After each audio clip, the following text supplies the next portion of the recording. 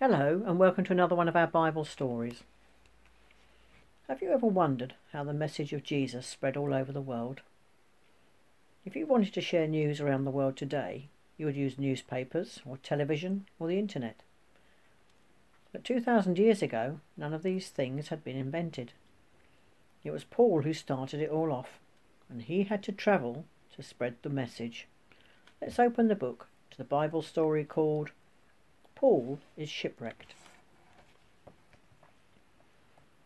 City after city, mile after mile, year after year, Paul travelled far and wide, facing danger every day, just so that people could hear about Jesus.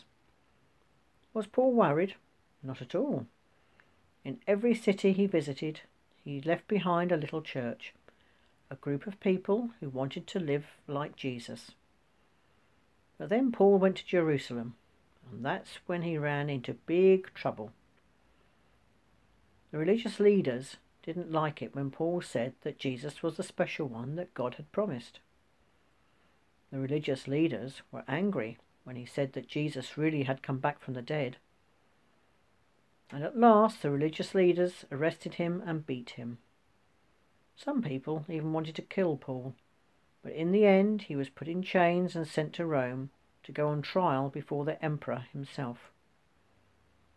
Was Paul worried? Not at all.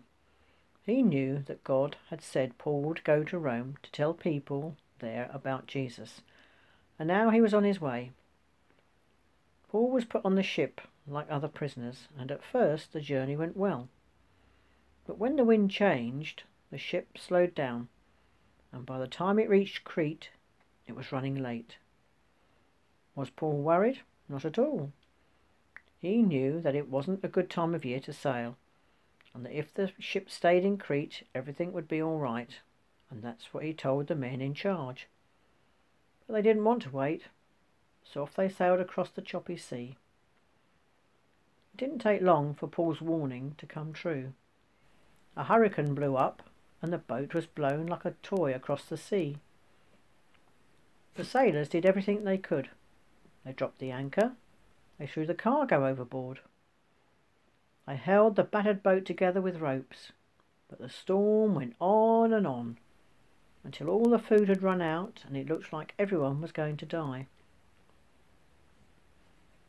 Was Paul worried? Not at all. He knew God would keep them safe. Calmly he stood and spoke to the others. I had a visit last night from an angel. He told me that we would get to Rome safely. The ship will be destroyed, run aground on an island, but we will all survive. And that's just what happened. The ship was wrecked off the island of Malta. At first, the soldiers and sailors thought only of themselves. But Paul convinced the men to change that the men in charge that the angel's promise would come true if everyone stuck together. But that's what they did and everyone was saved. The people who lived on the island took care of the castaways, and after three months they joined another ship sailing to Rome. In that big city, Paul had to stay in his house until the trial. So while he waited, he told everyone who visited him about Jesus. Was Paul worried what would happen to him? Not at all.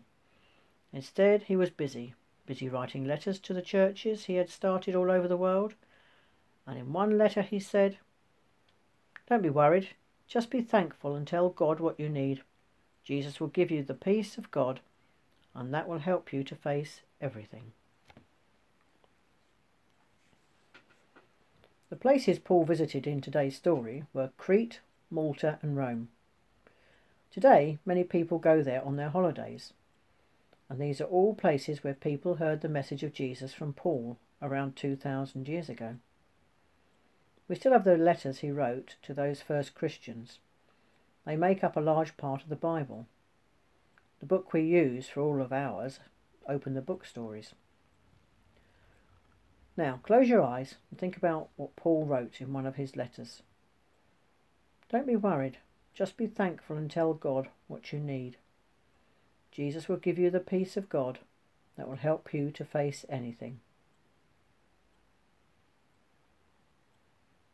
Now I'm going to say a prayer. And if you want to make it your prayer, say Amen at the end after me. Dear God, help us to know that when we are worried, we can talk to you. Please give us your peace. Amen. Amen. Thank you for listening, and I look forward to bringing you another story again soon. Take care, keep safe, and God bless you all. Bye for now.